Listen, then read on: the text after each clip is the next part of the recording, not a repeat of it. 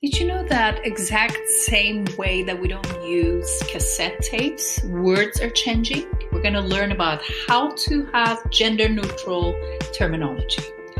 We can choose a word form without gender identification. For example, we don't say mankind anymore, we say human beings or society. And also, we don't say chairman, instead, we say chairperson, leader, or moderator. More example, instead of outdated words, you can use the current terms. For example, instead of male nurse, we simply say nurse. Did you know that the custom of attaching ESS or ETTE to a noun to create a feminine word has disappeared? Make sure you subscribe to IELTS Band 9 with Maria and follow me on Instagram at IELTS.bandman.